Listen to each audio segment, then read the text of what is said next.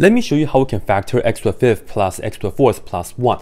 So here is the deal. Let's include all the powers. So I'm going to start with x to the fifth and then plus x to the fourth. And then I'm going to add x to the third and then x to the second and then plus x to the first and then plus 1.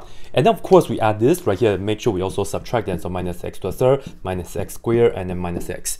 Now we can do this by factor by grouping. So as you can see, the first three terms right here, we can factor out x to the third power, and then we're left with x squared plus x plus 1. And then next, this right here, let's just factor out plus 1. So we will have x squared plus x plus 1. And then for the last part right here, let's factor out negative x. And then you will see that this right here will be x squared plus x plus 1.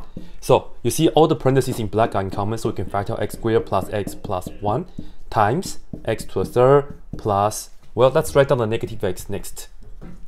Negative x and then plus 1, and then we are done. And if you want to see how to solve this equation equal to 0, check out our video in the description.